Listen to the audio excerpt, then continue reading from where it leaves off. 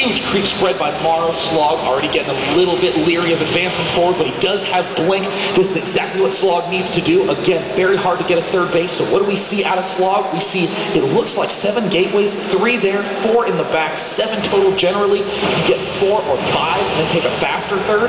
We're going to see Slog get seven and then take a really slow third. And it looks like Morrow is amassing this gigantic force of Zerglings and Banelings loaded up into the Overlord. Slog is trying to swing around to this top side. Uh-oh, it looks like Be in a really dangerous position. He's throwing down a lot of great force. Oh, he blocked the ball. His own units in blinking out at the last second to try to avoid those Banelings, but Morrow looking unstoppable. Oh. Crushing that force.